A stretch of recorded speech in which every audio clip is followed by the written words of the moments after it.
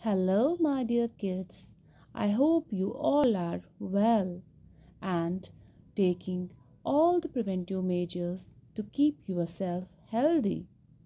Today, we will be learning something new and very interesting. So, are you ready? Let's start it.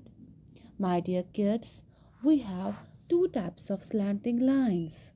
How many types? We have two types of slanting lines. One is right slanting line and one is left slanting line. Here we will see first right slanting line. This is a right slanting line. Again this is the right slanting line. Again right slanting line and again this is a right slanting line. Now we will move to the left slanting line. This is a left slanting line. Again left slanting line. Again left slanting line. And again left slanting line.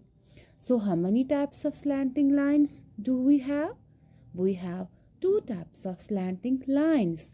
One is right slanting line and one is left slanting line. Thank you my dear kids. Have a nice day.